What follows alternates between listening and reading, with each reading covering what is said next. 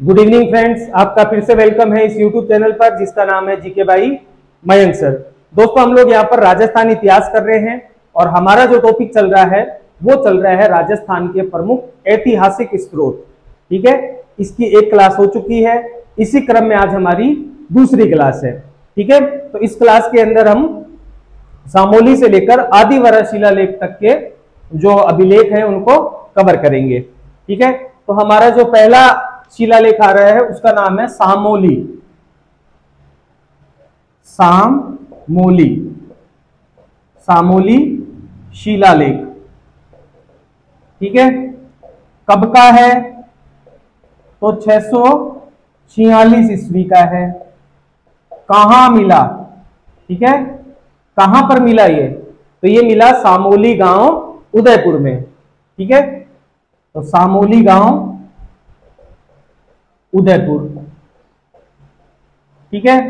अगर इसकी भाषा की बात की जाए तो इसकी भाषा है संस्कृत। ठीक है? ये जो अभिलेख है, ये संस्कृत भाषा में लिखा गया है। और अगर बात की जाए जानकारी, कि इस अभिलेख से हमें किसकी जानकारी मिलती है तो इस अभिलेख से हमें मेवाड़ शासक मेवाड़ शासक शिलादित्य शिलादित्य की जानकारी मिलती है। ठीक है? तो ये प्रमुख प्रमुख बातें हो गई शामोली शिलालेख के बारे में। सामोली शिलालेख के बाद में नेक्स्ट जो शिलालेख आ रहा है, वो है अपराजित का शिलालेख। ठीक है? अपराजित का शिलालेख भी हमें कहाँ से प्राप्त हुआ है? तो ये भी हमें प्राप्त हुआ है उदयपुर से। इंपॉर्टेंट है, इसमें से कई बार क्वेश्चन एग्ज़ाम में पूछ लिया जाता है। देखो नेक्स्ट जो है हमारा अभिलेख, उसका नाम है अपराजित का शिलालेख। अपराजित का शिलालेख। कब का है साहब? तो यह है छह सौ इकसठ ईस्वी का। कहाँ से प्राप्त हुआ है? तो यह प्राप्त हुआ है कुंडेश्वर महादेव मंदिर। कुंडेश्वर महादेव मंदिर नागदा। और नागदा पड़ता है उदयपुर में। ठीक है? उदयपुर से ये प्राप्त हुआ है। भाषा की बात की जाए तो इसकी भाषा है संस्कृत। लिपि। कौन सी लिपि है? तो कुटिल लिपि है, कुटिल। कुटिल लिपि क्या होती है? तो अक्षर जो होते हैं ना, उनको ऐसे गोल गोल घुमाकर लिखा जाता है यूँ। इसी को क्या कहा जाता है? कुटिल लिपि कहा जाता है। तो इसकी लिपि कौन सी होगी? कुटिल लिपि। ठीक है? अब ये जो अपराजित का शिलालेख है, इसकी रचना किसने की है? तो इसकी रचना जो है वो की गई है दामोदर के द्वारा। दामोदर। ठीक है? उत्कीर्ण करता उत्कीर्ण करता मतलब कि इसको पत्थर पर ठोक ठोक कर किसने लिखा है? तो उत्कीर्ण करता जो है उसका नाम है भाव भट्ट ठीक है? सॉरी उत्कीर्णकर्ता का जो नाम है, वो है यशो भट्ट। यशो भट्ट। ठीक है? तो ये मेन मेन इसके अपराजित के शिलालेख से संबंधित बातें हो गई। अब इसमें एक दो बातें और ध्यान रख लेना कि यहाँ इससे हमें जानकारी क्या क्या मिल रही है। ये जो शिलालेख है, ये शिलालेख हमें क्या क्या जानकारी देता है? तो पहली तो जानकारी देता है मेवाड़ शासक अपराजित। अपराजित की विजयों का। ठीक है? जो मेवाड़ शासक अपराजित है, उसकी विजयों का जो उल्लेख है, वो किसमें किया गया है? तो वो किया गया है अपराजित के शिलालेख में। और दूसरी जानकारी, पहली जानकारी तो ये मिलती है, दूसरी जानकारी हमें मिलती है तत्कालीन मेवाड़ की मतलब उस काल के मेवाड़ की सामाजिक, आर्थिक, राजनीतिक स्थिति की जानकारी। ठीक है? तो मेवाड़ के, मेवाड़ की सामाजिक आर्थिक वह राजनीतिक जानकारी। वह राजनीतिक जानकारी मिलती है। ठीक है? तो ये मेन मेन बातें हो गई हमारे अपराजित के शिलालेख से। नेक्स्ट हम बात करेंगे मंडोर शिलालेख। देखो, मंडोर से दो शिलालेख मिले दोनों के ऊपर अपन बात करेंगे। तो नेक्स्ट जो हमारी हेडिंग है, वो है मंडोर का शिलालेख।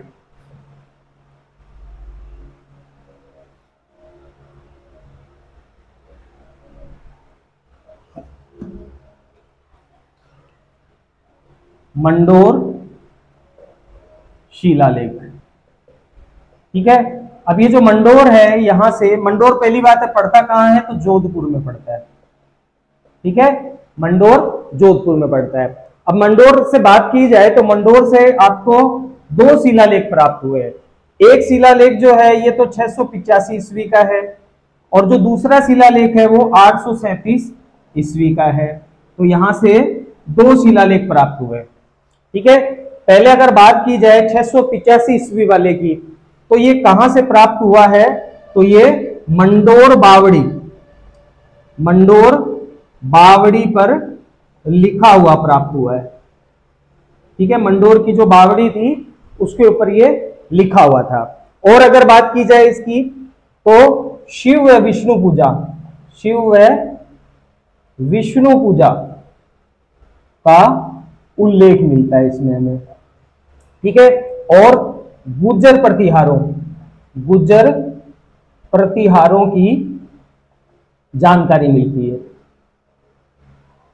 आठ सौ ईस्वी वाला जो शिलालेख है, इसके संस्थापक का ध्यान रख लेना कि इसकी स्थापना किसने करवाई थी। तो इसका संस्थापक था प्रतिहार शासक बाउक। प्रतिहार शासक बाउक। बाउक के द्वारा इसकी स्थापना कराई गई थी। और यहाँ से भी हमें विष्णु व शिव पूजा, विष्णु व शिव पूजा का उल्लेख मिलता है। ठीक है? विष्णु और शिव पूजा का उल्लेख मिल रहा है। तो ये हो गया हमारा मंडोर का शिलालेख। मंडोर के बाद में नेक्स्ट जो शिलालेख है, वो है मानमोरी का शिलालेख। और बहुत ही इंपॉर्टेंट शिलालेख है, इसमें से एग्ज़ाम में क्वेश्चन कई बार पूछे जाते हैं। तो नेक्स्ट जो हमारा शिलालेख है, उसका नाम है मानमोरी या मानमोर्य का शिलालेख।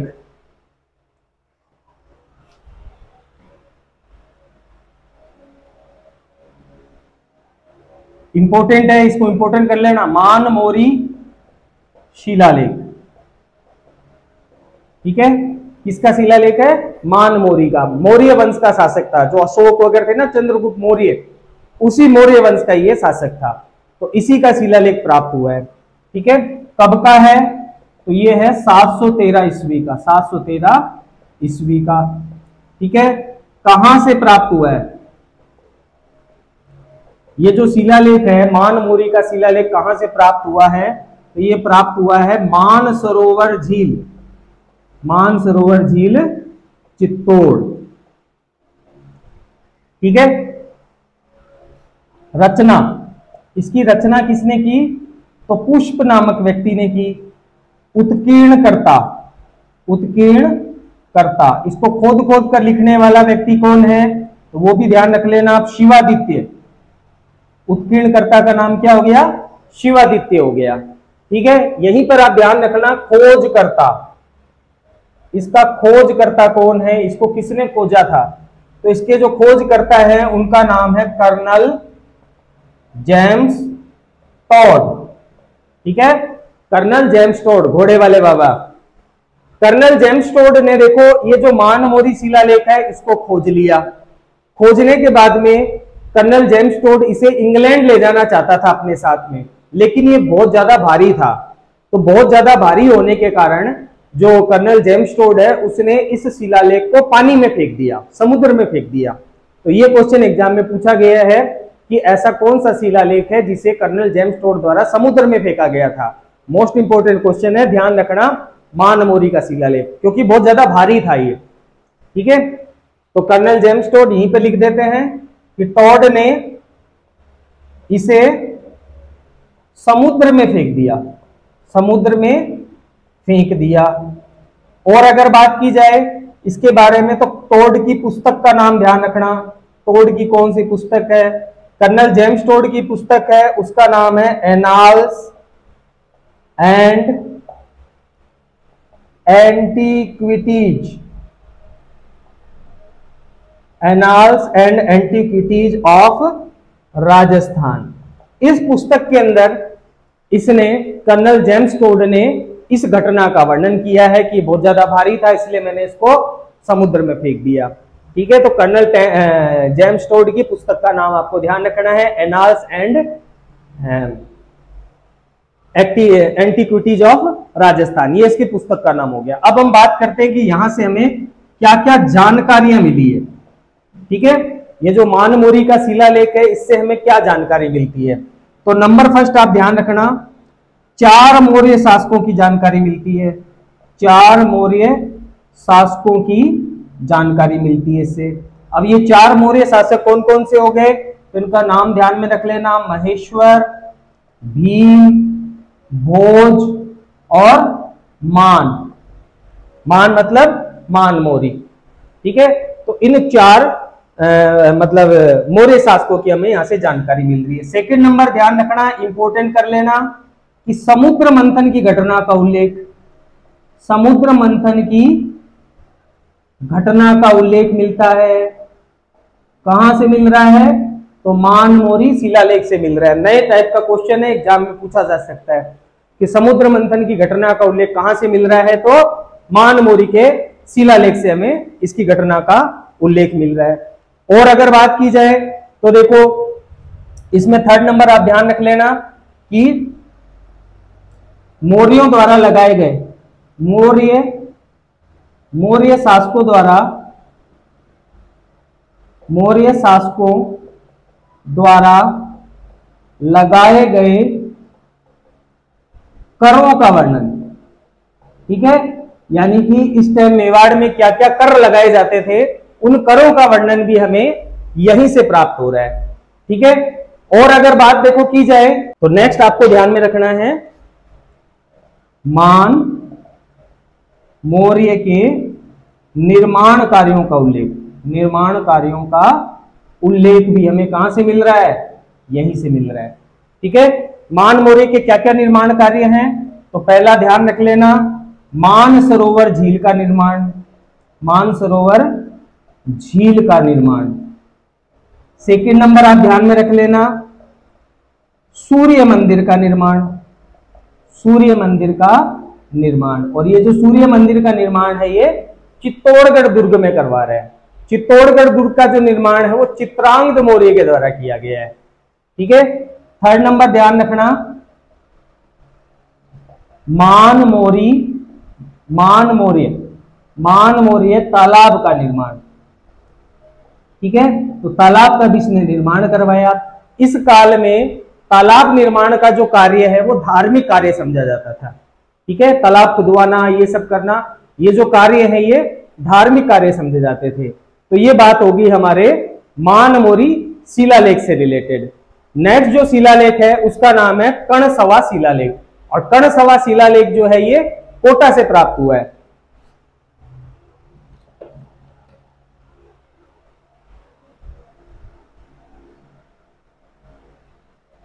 तो नेक्स्ट शिलालेख आ गया कर्ण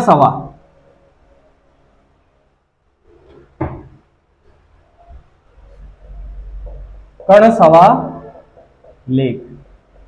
ठीक है? कर्ण सवा लेख। कब का है साहब ये? तो कर्ण सवा लेख जो है, इसकी टाइमिंग आपको देखने को मिलती है सात सौ अड़तीस। सात सौ अड़तीस ईस्वी। कहाँ से प्राप्त हुआ है? तो ये प्राप्त हुआ है कर्णसवा शिव मंदिर, कोटा। कोटा से प्राप्त हुआ है। ठीक है? भाषा की बात की जाए तो इसकी भाषा है संस्कृत।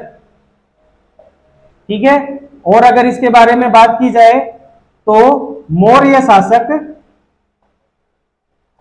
धवल, मौर्य शासक धवल की जानकारी मिलती है। ठीक है? और इंपोर्टेंट करके एक लाइन लिख लेना।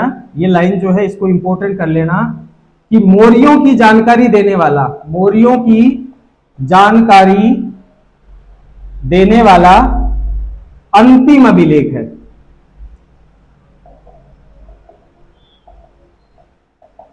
ठीक है, राजस्थान में भी, पूरे भारत में भी मौर्यों की जो जानकारी देने वाला अंतिम अभिलेख है, उसका क्या नाम है?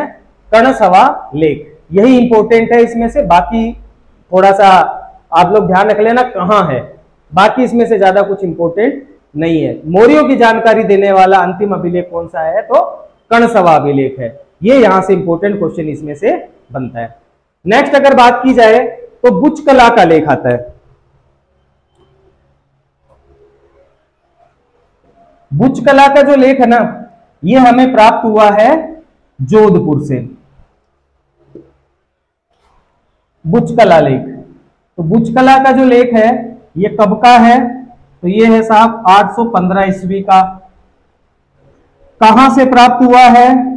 तो ये प्राप्त हुआ है हमें जोधपुर से। ठीक है? तो बुच कला का जो शिलालेख है, ये कहाँ से प्राप्त हो रहा है? जोधपुर से प्राप्त हो रहा है। इसमें पंक्तियाँ कितनी है? तो 20 पंक्तियाँ हैं। ठीक है? और जानकारी किसकी देता है ये? तो ये जानकारी देता है हमें गुज्जर प्रतिहार वंश की। गुज्जर, प्रतिहार, वंश की हमें ये जानकारी देता है।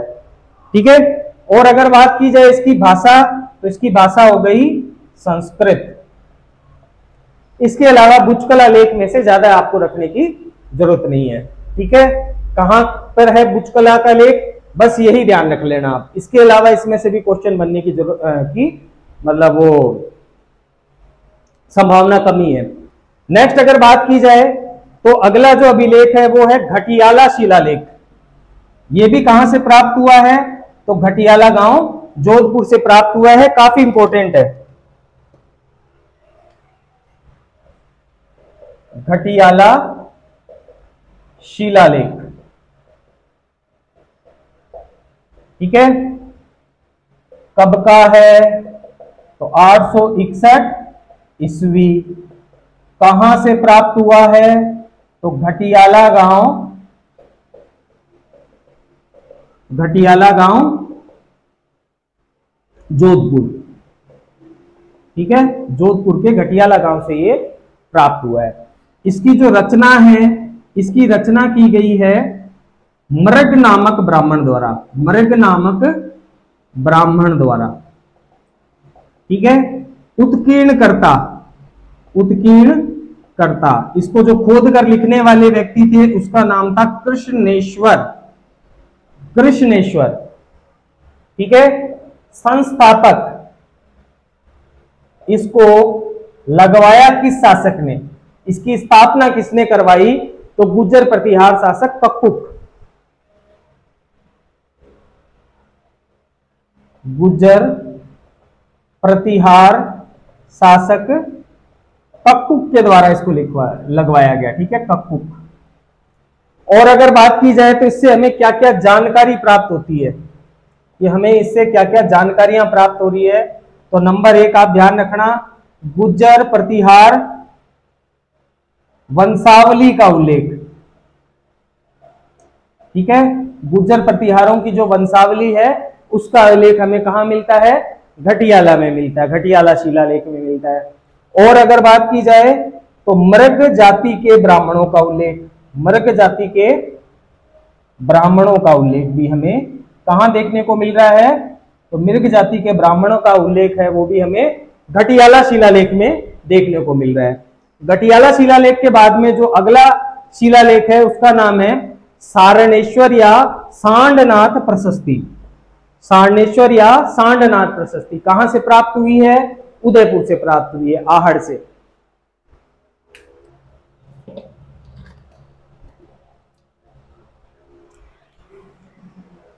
तो नेक्स्ट जो है, वो हो जाएगा सारणेश्वर या सांडनाथ।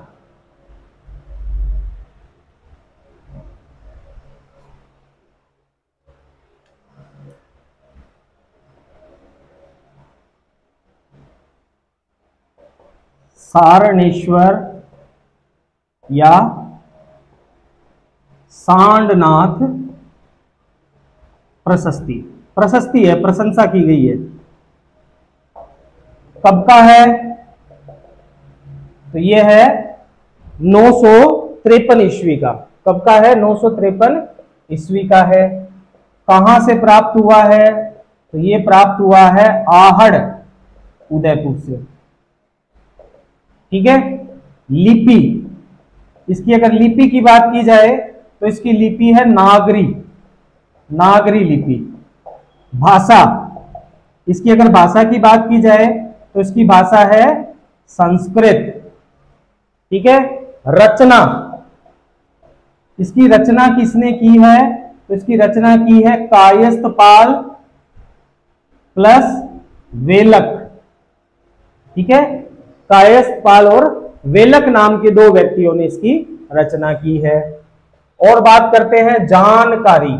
इससे हमें क्या क्या जानकारी प्राप्त हो रही है? ठीक है? तो पहली जो जानकारी है, वो हमें प्राप्त हो रही है मेवाड़ के शासक अल्लर या आलू रावल की। ठीक है? मेवाड़ शासक अल्लर, या इसी का एक नाम आलू रावल भी मिलता है। आलू रावल। की जानकारी मिलती है। सेकंड नंबर आप ध्यान रखना कि आलू रावल या अल्लर के मंत्री परिषद का उल्लेख मिलता है। नेक्स्ट थर्ड नंबर ध्यान रख लेना, मेवाड़ की नौकरशाही, मेवाड़ की नौकरशाही व्यवस्था का उल्लेख मिलता है। और अगर बात की जाए फोर्थ नंबर तो फोर्थ नंबर ध्यान रखना, आहड़ को ताम्रवती राजधानी बताया गया है।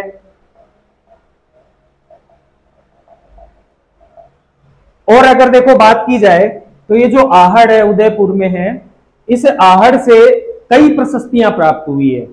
लेकिन ज़्यादातर प्रशस्तियाँ जो थी वो टूटी फूटी थी।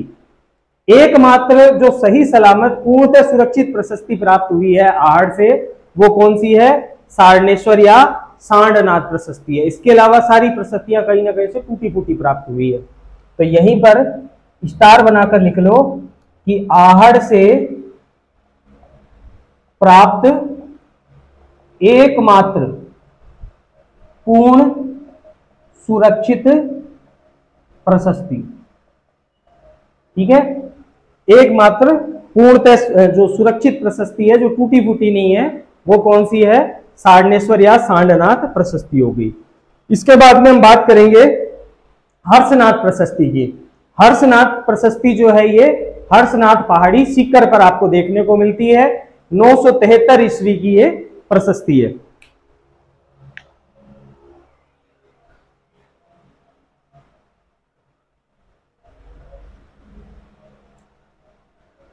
तो नेक्स्ट जो प्रशस्ति है, उसका नाम है हर्षनाथ प्रशस्ति।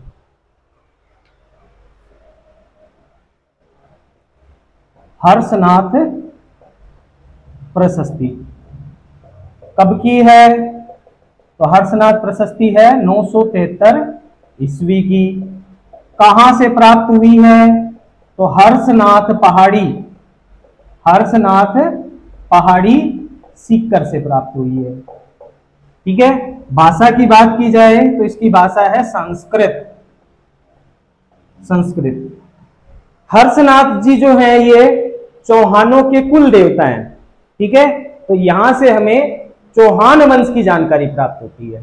तो अगर जानकारी की बात की जाए कि यहाँ से हमें क्या क्या जानकारी प्राप्त होती है तो नंबर एक ध्यान रखना, चौहान वंश की जानकारी। चौहान वंश की जानकारी प्राप्त होती है। नंबर सेकंड ध्यान रखना कि चौहान शासक था विग्रह राज, या जिसे बिसल देव भी कहा जाता है, विग्रह राज चतुर्थ या बिसल देव। इसके द्वारा तोमर वंश के शासकों को हराया जाने का उल्लेख मिलता है। तोमर जो थे, ये दिल्ली साइड में शासन किया करते थे। ठीक है? तो विग्रह राज चतुर्थ द्वारा तोमर शासक को हराने का उल्लेख है। और नंबर थर्ड इसको इंपोर्टेंट कर लेना। नंबर थर्ड वाले को इंपोर्टेंट कर लेना। वागड़ प्रदेश को वागड़ प्रदेश को वागड़ वागड़ वाग, वागड़ है ना वागड़ को वागड़ प्रदेश कहा गया। ठीक है? तो ये मेन मेन बात हो गई हमारी हर्षनाथ प्रशस्ति से रिलेटेड हर्षनाथ प्रशस्ति के बाद में जो नेक्स्ट शिलालेख आ रहा है, उसका नाम है आदिवरा का शिलालेख। ठीक है? नौ सौ चौरानवे ईस्वी में प्राप्त हुआ। कहाँ से प्राप्त हो रहा है? ये भी आहड़, उदयपुर से ही प्राप्त हो रहा है। ठीक है?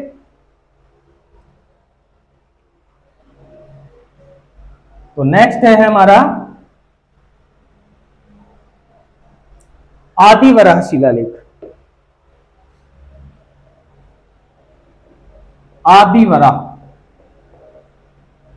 शिलालेख आदिवरा शिलालेख कब का है? तो नौ सौ चौरानवे ईस्वी का। कहाँ से प्राप्त हुआ है? तो आदि वराह मंदिर, आहड़ उदयपुर से। ठीक है? भाषा की बात की जाए तो इसकी भाषा है संस्कृत। संस्कृत भाषा। लिपि की बात की जाए तो ब्राह्मी लिपि। इसकी लिपि कौन सी हो गई? ब्राह्मी लिपि हो गई। ठीक है? और अगर बात की जाए इसका संस्थापक कौन है? यानी कि इसको डलवाया किसने? छपवा कर इसको मतलब बनवा कर इसको स्थापित किसने करवाया? तो मेवाड़ का शासक था, जिसका नाम था भरथरी सेकंड। तो संस्थापक। मेवाड़ शासक भरथरी सेकंड के द्वारा इसको स्थापित करवाया गया है। ठीक है? और अगर देखो, इसमें बात की जाए तो इस अभिलेख से हमें क्या क्या जानकारी मिलती है? इससे क्या क्या हमें जानकारी मिलती है तो दो जानकारियाँ आप ध्यान रखना। पहली जानकारी, वैष्णव पूजा का उल्लेख। विष्णु जी की पूजा विधि कैसे की जाती है? पूजा का उल्लेख किया गया है। और सेकंड नंबर ध्यान रखना गंगोद्भव गंगोद्भव नामक तीर्थ का उल्लेख। ठीक है? गंगोद्भव नामक तीर्थ का उल्लेख जो है वो भी इसमें किया गया है। ठीक है? तो आज की क्लास में हम यहीं तक लेंगे। नेक्स्ट क्लास में हम इसके आगे के जो प्रशस्तियाँ हैं, शिलालेख है, उनको कवर करेंगे। ठीक है? तो ज़्यादा से ज़्यादा पढ़ाई करिए, ज़्यादा से ज़्यादा मतलब पढ़ते रहिए और अपने कर्तव्य पथ पर ऐसे ही बढ़ते रहिए। अगर आप लोगों को वीडियो पसंद आया हो तो प्लीज़ वीडियो को ज़्यादा से ज़्यादा लाइक कर दीजिए। ज़्यादा से ज़्यादा इसको सब्सक्राइब कर दीजिए और ज़्यादा से ज़्यादा इस वीडियो को शेयर करिए, ज़्यादा से ज़्यादा पढ़ाई करिए और अपने सफलता के पथ पर यूँ ही बढ़ते रहिए। ओके जी।